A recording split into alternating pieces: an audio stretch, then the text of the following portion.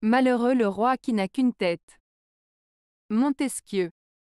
Cette citation signifie que le roi, en tant que seul dirigeant, est en position vulnérable car il ne peut compter que sur lui-même pour prendre des décisions importantes. Si quelque chose de grave se produit, son échec ou sa perte peut entraîner des conséquences désastreuses pour son peuple et son pays.